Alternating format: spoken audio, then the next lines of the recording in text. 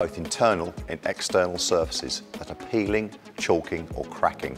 It will allow the contractor to address and properly prepare substrates that could potentially fail through insufficient preparation by offering a sound, stable surface.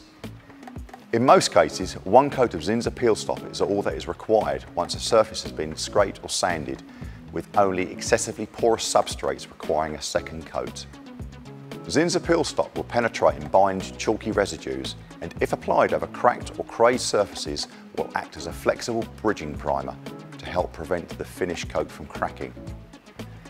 Peel stop will glue down the edges of existing old coatings preventing them from lifting when overpainted and will offer a breathable, flexible finish suitable for many challenging substrates. Zinsser peel stop can be applied to either new or previously decorated timber, metal, plaster, masonry, concrete and plastic. It is used extensively on internal, high alkaline surfaces such as lime wash, plaster and distemper while remaining vapour permeable and allowing the substrate to breathe and is particularly effective when used as part of the full Zinsser system incorporating both primers and finishes. Thorough surface preparation is important and the substrate must be clean and dry as well as being free of grease, oil, wax and mould. Excessive dust must be removed with the surface free of contamination that could interfere with the adhesion and glossy painted surfaces must be abraded. Zinsser Peel Stop is only available in a clear finish and must not be tinted as this could impede the properties of the product. Once applied, it will dry to a slight sheen and a second coat will be required if dull spots appear. Application of Zinsser Peel Stop is very simple and can be applied when the air and surface temperatures are between 10 degrees and 32 degrees C and the humidity is less than 80%.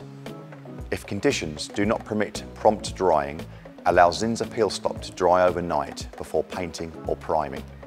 Do not apply the product if rain is expected and a primer or top coat cannot be applied before the rain occurs.